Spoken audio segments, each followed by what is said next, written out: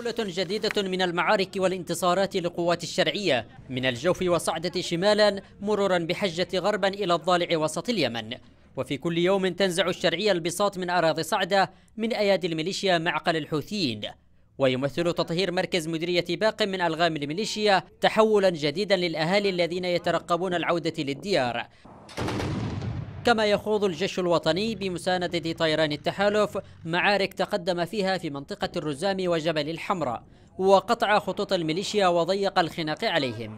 هذا هو الرد العملي على المماطلة التي أبداها أبدتها الميليشيات الحوثية مع مخرجات مشاورات السويد والتي تمثلت بالتفافها على ما تم الاتفاق عليه بتسليم ميناء الحديدة. وبالتالي تحركت الجبهات كرد عملي على على على تناقض الميليشيات مع كل الاتفاقيات.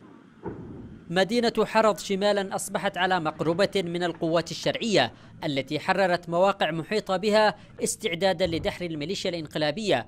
فيما قتل ثمانية من الميليشيا في جبهة المصلوب بالجوف ودمرت دبابة لميليشيا الانقلاب. كما أن التعزيزات الكبيرة التي استخدمتها الميليشيا لأطراف تعز فشلت في تحقيق أي محاولة تسلل أمام نيران الجيش الوطني. هنا في الجبهة الشرقية الشمالية في الأربعين محاولات يائسة للعدو متكررة. ولكن بفضل الله سبحانه وتعالى ثم بفضل رجال صدقوا ما عهد الله عليه يتم كسر هذه التسللات وهذه والتحركات مرصودة للعدو يتم استهداف تحركاتهم الفردية والآلية بشكل يومي. عزم السلطات الشرعية على استعادة كافة أراضي اليمن ماض على قدم وساق خصوصا بعد رفض الميليشيا القرارات الأممية ورفضها تسليم الحديدة.